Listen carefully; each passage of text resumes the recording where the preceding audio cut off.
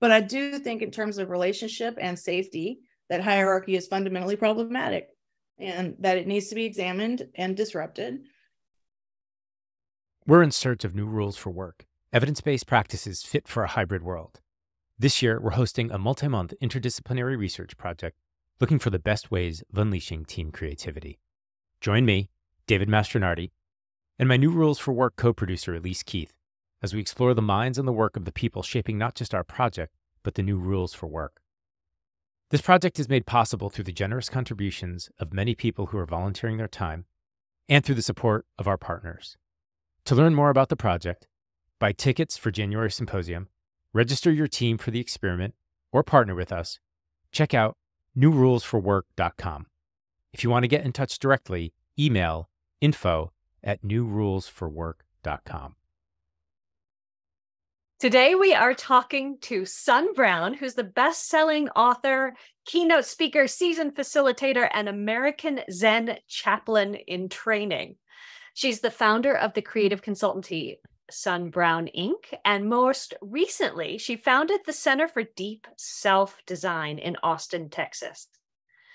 Sun was named one of the 100 most creative people in business and one of the 10 most creative people on Twitter back in the day, right? Not not today's Twitter, but maybe Twitter like yeah, you know, a couple months ago by by Fast Company. Yeah. Um, and she's got this great TED talk that's been seen over 1.6 million times.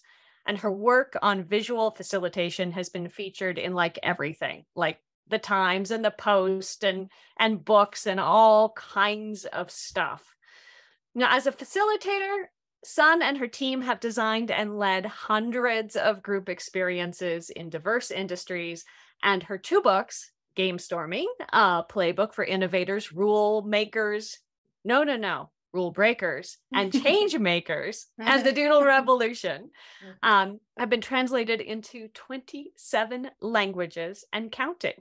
Mm. So today, in addition to acting as an advisor for us on the new rules for work program, Sun's also working with O'Reilly on Game Storming 2, as well as a book on collaboration literacy, where they look at designing systems of relational intelligence for group experiences. Mm. So I'm fascinated to hear what relational intelligence means and what drove you to this program. Thank you so much for joining us, Sun. Oh, yeah. I'm so happy to be here. And I'm so excited to be an advisor on your project and your experiment, which is, I think, impressive. Uh, at least I could never create and design something like this. It's not my strength. So I'm really glad to participate and to see what happens, you know, and to be in the cohort group of people that are working on it. So, way to provoke the whole thing, Dave. Nice work on that one. Thank you. Thank you. Um, uh-huh. where so where are you coming to us from today? Well, right now I'm in Asheville, yeah. but you know what? I'm considering moving to Peru. Oh. I know. I'm just putting that in there for fun context, texture, and same stuff. time zone. Yeah, that's the whole point. Easy. It's like what no one will even know. Like I could be there right now. Y'all wouldn't know. It's a remote work world. Same so part zone. of me is like, I don't even need to tell people because how will they know? They won't. better better ceviche. Um, so I'm interested in the same thing that Elise mentioned, uh, hearing more about collaboration literacy. Yes. Yes. Oh, we're like right what, yeah. What is what is that? What how has that come to be? So that is a, a big question and a good question. And actually, I was working on this today. I think we've all been interested in collaboration for most of our careers, all all three of us. But I started getting really much more focused on what that literacy is and actually what's missing from cultures and teams when they struggle to collaborate, which we've all also witnessed, um, particularly when the everything kind of fell apart in the in, during the pandemic, which is still ongoing. Um, so I got much much more interested in what is the texture, what is the almost the ineffable qualities that make collaboration more plausible, feasible, doable, um, emergent. And so for me, a collaboration literacy, and I'm still working on the book, right? So I'm still, um, you really learn about something when you write a book about it. That's like the beauty of that that exchange. But for me, it's about how does one become skillful in collaboration, um, not not because it's the only place to land, but because you want to be able to do it when it's needed. witnessing a big, big company was a, a real uh, journey and a real education around when does it break down? How can you support it? And what's needed. So, yeah, literacy for me means uh, ultimately skillfulness um, and the variety of ways you can approach it. So I have to I have to dig into something you said there because um, you used a couple of words that I've also heard business leaders oh, use. Oh God, I did jargon um, up. Well, it's not so much the jargoning thing. It's just it, you know, I'm both peaked and tweaked about this idea of collaboration being something that has learnable skills, right? Mm-hmm. You get mm-hmm. literacy sort of assumes that there mm-hmm. is a mm-hmm. path of learnability and mastery, mm-hmm. right? And then you pair that with the ineffability mm-hmm. yeah of the emergent properties like how do you um yeah how do you reconcile yeah. uh the idea of uh literacy and the ineffable yeah i love it that's wonderful elise so uh i don't know that mastery is available to all people uh and i think because i think people have different strengths and different skill sets so when I, I think maybe I don't mean fluency, I just mean literacy. So, and for me, those are different things, and there's different degrees of fluency. So, it's a wonderful inquiry because, so I'll take it back to my early days as a visual thinking educator, which I still am, but it's not my primary focus anymore.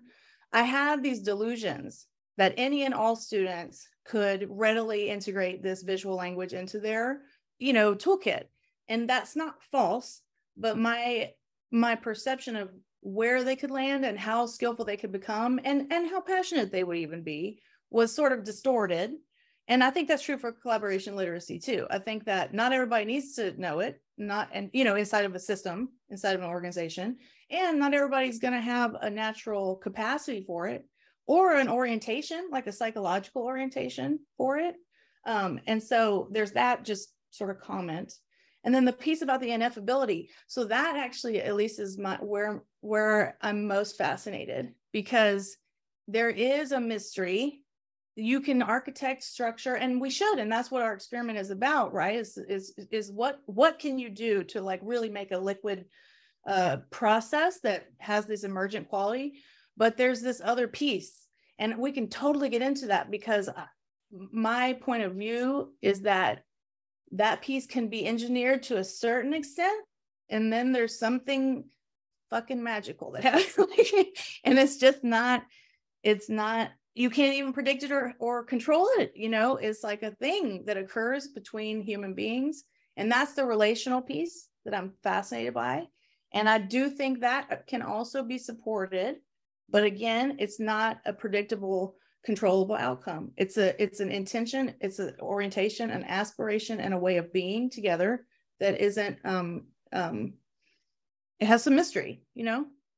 So would it be fair to say that um that you believe in creating the context or setting up the circumstances where magic is possible? Yes. But not necessarily the predictability of magical That's right. And and, and exactly. results. Yes, it's mm-hmm. beautifully summarized.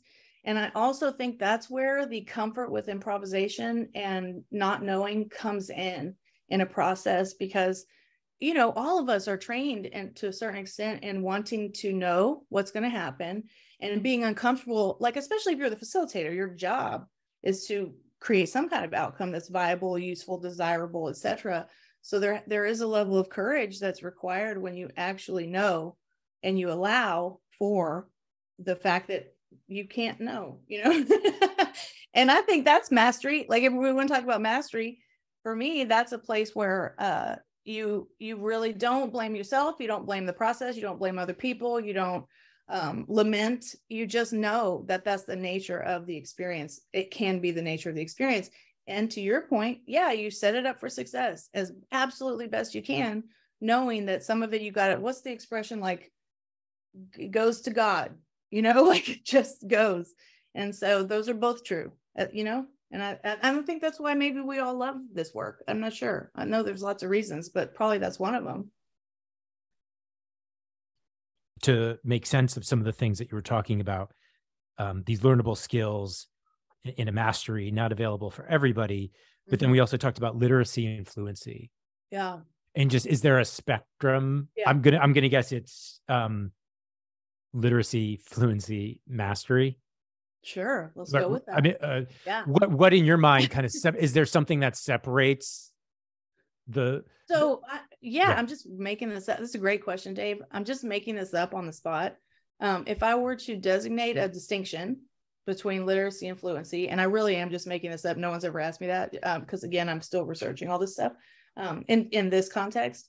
Um, I would say that people that are literate are people that can design a meaningful meeting. So they're like, they have the tools. So the seven P's, just take the seven P's process, product, people, pitfalls, blah, blah, blah. So there's a functionality and a skill set that would make an experience gathering people together more fruitful, you know, purposeful, intentional, viable. And that is literacy. And that's awesome.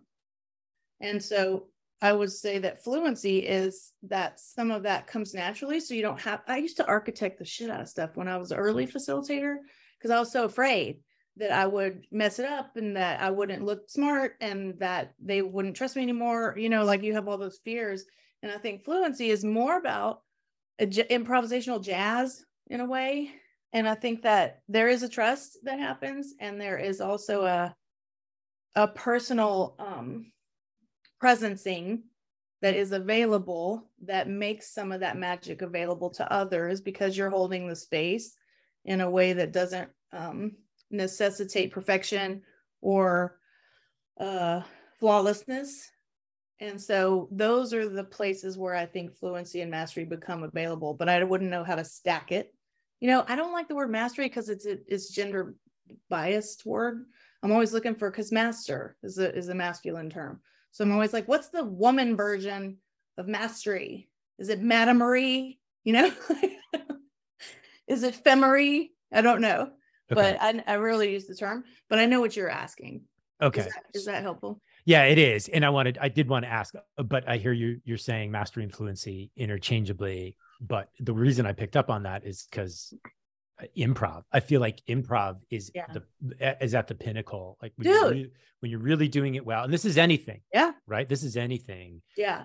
It's it's not forced. You don't have to think Yeah, about it's it. like it, it's it just in your comes to body. you. Okay. Yeah. But you're So- a guitar player, so you know you can relate to that in that way. I am not. I am not a master. I'm not You're fluent in literate, guitar. you're literate. It's, I yeah. I stick to the cover stuff, the stuff that's already been done. I just mimic it, which I feel like is at the lowest. But that's how I learned game storming, and, and I think that's how most people learn things. Is totally. oh, I like that. I, we we did something that created this outcome, or I like the experience. I want to learn how to do that. I'm going to copy what that person did to get us there. Yeah. And I think that's that's your first step into the world. of totally. And that's why when Keith was emphasizing communities of practice, that's key. It's crucial. Yeah. I mean, you've got to have people that help hold your hand, walk with you, lean on you, you lean on them, and you do stuff that you don't you're not familiar with. I mean, those are that's absolutely essential. And you can't start at the pinnacle, so to speak. Um, you know, it's a journey. I think that's one of the things that's super interesting about our experiment, right? Mhm. Because um, on the one hand, we're we're tackling this really uh, complex, potentially masterful environment of creative problem solving with complex challenges, Mhm. um, and in such a way that it should be accessible to anybody to lead it. Yeah. All right. Yeah. That Um, part is so interesting. There's something about learning how to do meetings, period, that's very much bicycle riding. Right. It's very much must Yeah. be in the body, must be done. Mhm. which is one of the reasons so many meeting trainings just bomb. because they didn't learn how to ride the bike yet. They Or are. They They, don't even they, know there is a bike. they tell you what to do, which is not the same thing as uh, Right. experiencing having it done and Yeah. then getting a chance to reflect that back out again. Yeah. See, that's so cool because uh, in terms of the experiment, because um it it, feels like an unsolvable it- it's such a mysterious thing because it has it's sort of similar just follow my thinking on this and see if it makes sense. It's sort of similar to like say you have this beautiful thing and it's gold and you want to scale the gold. And then every time you do that, you have to alchemize it so that it's scalable. And then it turns into like metals and like mixed sort of other elements. And it's not gold anymore. So it's like that's i have not i, I have personally not solved this problem in a, in a way that uh, satisfies me. But it's like you were saying it's like there your experiment or, or our i don't know if it's yours or ours it's the world's um it's all of ours is is designed to ha- make the best of both right? Like you're you're looking for the gold but you're also looking for a way to take that gold to as many people as possible and and maintain some of the shiny right? And and also make it to where it's not required to have an expert facilitator or a master facilitator or a fem facilitator. We need another word. Right. right? So that is beautiful because we'll see. Like i don't have any doubt. We're going to probably be wowed by submissions. Um i think there's no doubt and i'm i'm so excited about that part. And then the inquiry is around for me is around how is it wielded in the hands of others who may come cold to leading the process? Mm-hmm. it's cool. Did y'all hear so, that y'all? Submissions bring them on. It, it will be fascinating. Yes. Uh totally. through this lens of collaboration literacy mm-hmm. and this change that's happened mm-hmm. how, how, how did you perceive it? What was what was and maybe you can only say this now as this collabor- collaboration literacy is something you are you know struggling with in a healthy way to define and figure out. Yeah. what was before what was collaboration literacy before? Before pre, pandemic. What what's the transition? How how have you witnessed it? And why do you think this this concept of collaboration literacy has come to mm-hmm. you in the way that it has? Yeah. See that's interesting because I know that so much of people's sort of frustration or um, feeling of of maybe even paralysis around process has to do with the tech the intervention of technology. So when we were physically together, you could have moments of of collaboration that were simple and human. Like if you were say you were walking together to get muffins and then you both run into the muffin table at the same time. So you're like, oh, let's carry the muffins to other people. So it's a very natural kind of organic thing. So I think people think that that's utterly lost. And I don't share that perspective. I think you can do a ton on uh, in this medium. And I think that people haven't really tested the boundaries of what you can do because I think they're more uh, fearful of looking foolish, which is classic human stuff. I'm I have those same concerns. Um, but I think that you can actually generate uh, relational spaces um, that are warm, that are co- co- congenial, collegial, both, um, and that that have a connective quality, that have connective tissue. I, I think you can absolutely do that in this medium that feels cold and can feel disconnected. And so for me, the literacy, the change from literacy prior and literacy now isn't that dramatic. It's like, yes, you have to have methods and you have to adapt them to environments and stuff. But I think humans can connect across a whole host of mediums and you have to set them up for that. And sometimes you do need a person to model and demo and encourage, right? And um, offer permission and so forth. But you can do that online. You don't have to be together. And I, I do think people are seriously underestimating that that is still available to us. And I think they need to test stuff more. And I do, and it, it does make me wonder about the significance of the facilitative person. Um, you know, like just like the rest of y'all, I want it to be very DIY and available to people. But man, you know, we've all been in experiences where it's like, oh man, if only they had a facilitative capacity or a facilitator, it would just be a game changer. So it's that's also a question, you know. You were innovator in residence at Mural. Mm-hmm. You, you, saw a lot there mm-hmm. with them. You saw a lot with clients, I'm sure. Mm-hmm.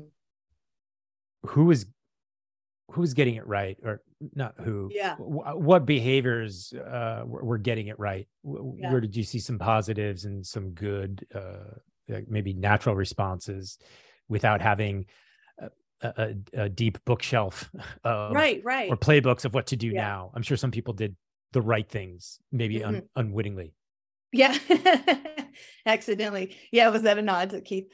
Um, so, uh, well, I think that has that has there's a baseline cultural dynamic that makes things possible, and so I know that psych safety is a big buzzword and all this stuff, but um, the truth for me is that when you have a foundation of care and uh, respect and um, sort of like like less hierarchical structure and a healthy culture a lot more is possible. And so to me it's really it, the, the way that people interact is actually um, reve- revelatory of the foundational culture.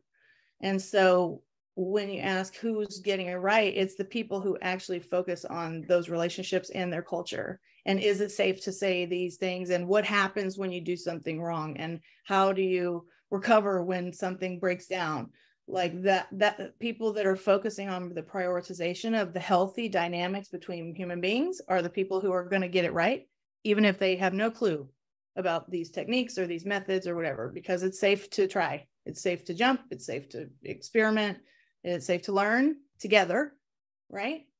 And i wish there was more of those. I mean it's not common. It really is not that common um, depending on the size of the business and stuff like that any insights into why it's not that common across all of the the clients that you were maybe working with or witnessing or even hearing yeah. stories about? Any any hypotheses around a, a, common thread or something that is keeping people from making that proper prioritization? I think there's two things. One is uh capital capitalist corporate systems is are fundamentally flawed uh in terms of relationship. And two psychology so human psychology we're all protecting ourselves from each other, understandably. So we have these um, uh, this scaffolding. Uh, we don't want to be vulnerable, so we have psychological scaffolding that prevents us from being vulnerable, understandably. So there's a human condition piece, and then there's a corporate system piece. Um, and I think they're both honest. Honestly, I think they're both uh, sort of tidal waves of, against some of the things that I know that we would all be happier if they were around including collaboration. And so I think sometimes when people are successful, when there are cultures that are healthy and there are um, um, systems that support collaboration, I think they should be really celebrated because I don't think that they're the norm. I think they're typically anomalies. I don't think that's insightful, particularly insightful. I just think that that needs to be t- talked about openly. You know, I think hierarchy fundamentally is corrosive um, for relationship and corporate systems are hierarchical by definition and so i don't know how much they can accommodate in terms of deep deep well-being which is where my interest is you know and sometimes you can create these places and spaces and teams and so forth but i think ultimately the complexity of those systems is in the way you know and experimentation Mm-hmm. I know some people you're going to have to interact with at the symposium yeah. for sure, um, awesome. who are who are looking at um, conscious capitalism. So basically, other ways to organize yeah. businesses that are different from the traditional hierarchies. Yeah. Because you're right, like there's there's something about that that structure that's no longer fit for purpose that's with right. our our current complex adaptive sort of universe. That's right. Totally. And i and i'm so curious about it. And people have been writing and talking about that for a, while but the time mm-hmm. hasn't been right. And i don't think people have been as receptive as they are now. And i think the generations coming up are uh, actively disrupting structures like that and they should be. And it's not like it's an eden like there's you know you flatten an organization there's some different kinds of problems right? But i do think in terms of relationship and safety that hierarchy is fundamentally problematic and that it needs to be examined um, and and and disrupted. And so you know um, that's a long-term arc. It's not like overnight but i did but i'm it, it's encouraging to see companies looking at it. You know i just had a conversation with a, a prospective client yesterday and i think that they were earnest in their interest in not lead not um in turning themselves into a coaching organization as opposed to a performance review, like hierarchical performance review. And so, you know, you see you see these places of sprouting potential and so um, i sort of look to them to keep my composure and my optimism because i'm like it's okay you know? There's lights in this massive dark empire. Industry so what are you as we Yeah. we're about six weeks out from the symposium and then design competition experiment. Uh why'd you say yes? I think you mentioned this at, the- at the top here. Yeah. Why'd you say yes to this one? And what are you what are you open to or what are you excited about what question is hanging in the balance that you think we can get some direction on from this Yeah, that's cool. Well, first of all, I said yes because you are involved, and I just you are good stuff. And then uh, Elise, you're impressive. Like I when I we had not connected, but when I was looking at what you do, I was like, damn, like how have we not already? You know, how had we not? Um, so there was just that those personal interests. But also, I had just completed the residency at Mural, and I was so entrenched in these questions, and so it was like a beautiful opportunity to explore them in a meaningful way in a research based and disciplined way and so that was super appealing and and you know uh, the creativity like the creative possibility is so thrilling. I love seeing people design new processes that have the have that like make emergent you know interesting emergent things possible and then when you added the twist of applying it to a real world practical problem it's like how could i not participate I'm interested in seeing what they do. I'm just purely interested in the creativity and the um, chemistry of the groups and how that how that looks. which is something that we talked about with with Ronnie, right? Going back to the original study where they just pulled people and paired them for the purposes of the study and that was one of the elements she thought might have an impact on creativity and collaboration is Mm. well what if you know these people? What if you Yeah, what if you have experience with them? Yeah, um how is So that many going to affect the Yeah. outcomes? So if i heard what you were saying then you're you're a- you're a voyeur here. Like you you just want to you- yes, you want to see yeah i i feel there's part of me that is the same way right like oh i just want to i think it's fascinating when people just to see the agendas people might come up with or how they might facilitate it Totally. or um how they're going to interact and Uh, how imaginative are they going to be, Right. right? Because it's a c- 90 minutes, right? So they have 90 minutes and they have to not only do the generative piece, but the evaluative piece. And like that is, you know, they need a tight and they're online and hybrid and like all the stuff. So they have a tall order to a, s- in- to a certain extent.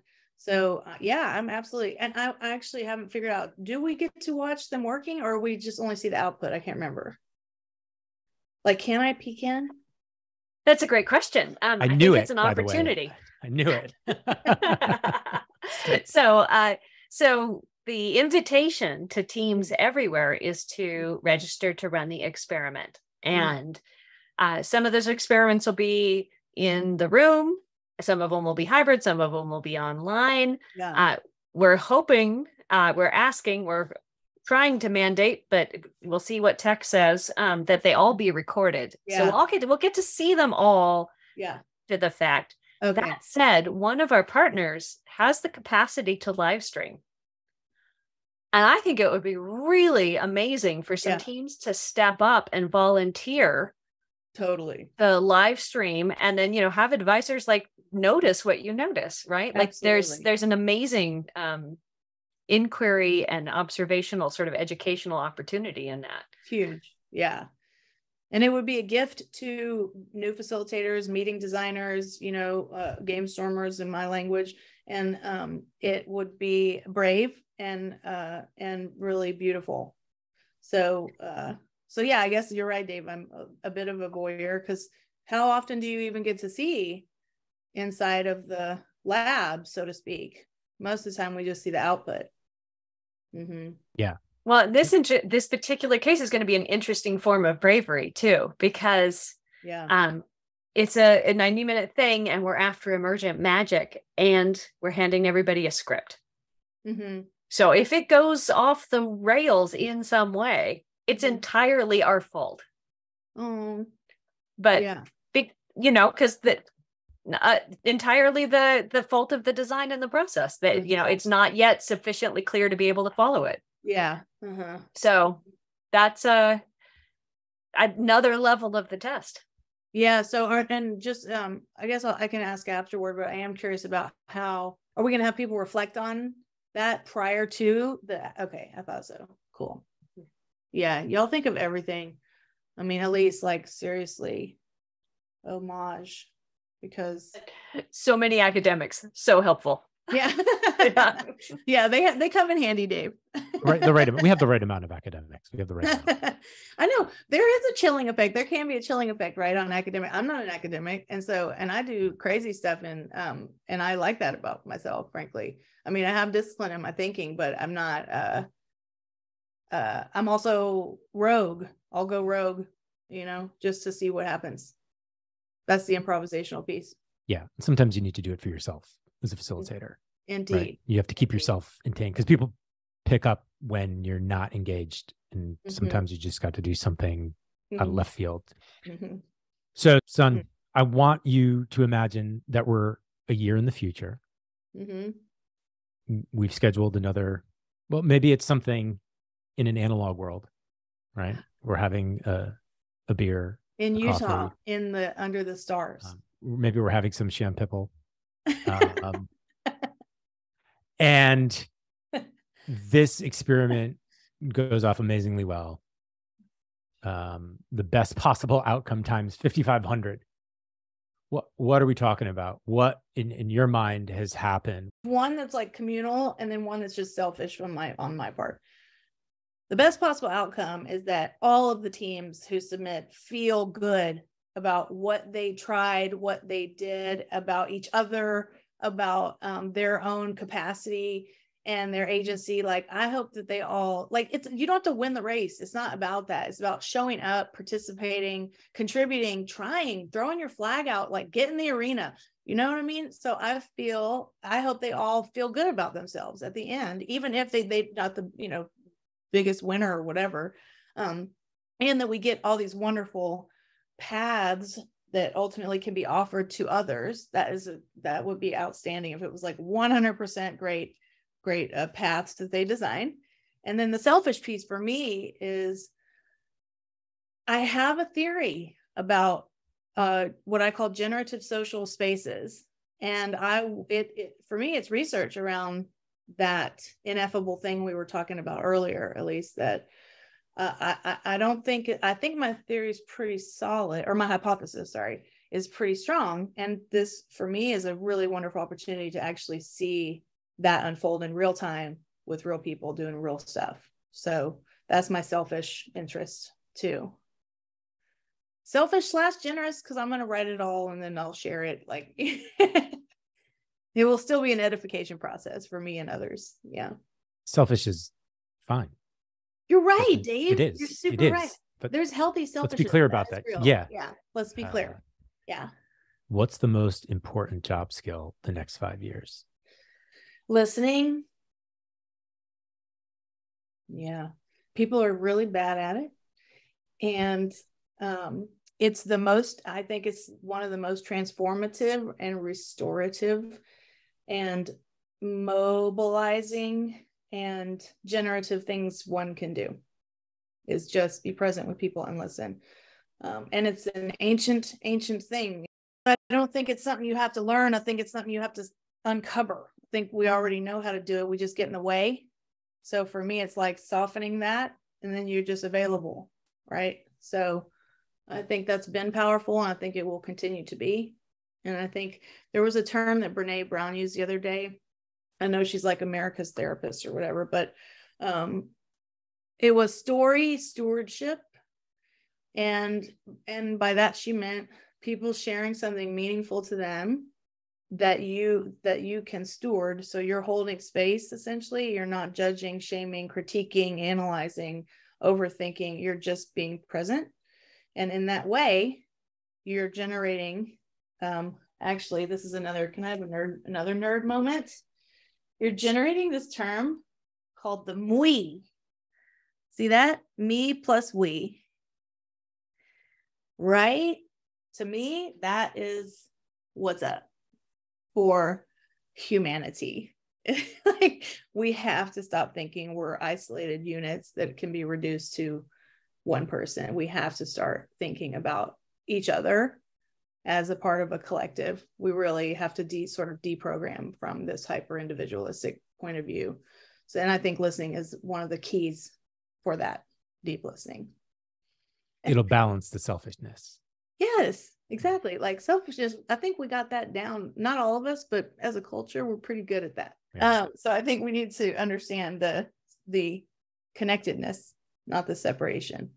And speaking of mm. connectedness and your Instagram account and the visuals that you were showing, mm. if people want to learn more about you, where can we send them? I think LinkedIn's probably solid. LinkedIn. Yeah, I'm not a big social media person, but uh LinkedIn's good and um um Instagram's good. yeah, and like when we start doing like our game storming day and when I start teaching collaboration, people are always going to be invited and I'll put it always on LinkedIn. So that's probably best. Yeah. That, yeah. Thanks for asking. You're welcome. Thanks. Yeah. For doing this. Yes. Sharing your wisdom, your experience. Yes. Thank you for being an advisor mm. on our amazing project. So exciting. We are better off for having you. Thanks for listening. To learn about the new rules for work, purchase tickets, or submit your team for an experiment, check out newrulesforwork.com. If you're interested in partnering, reach out to us at info at newrulesforwork.com.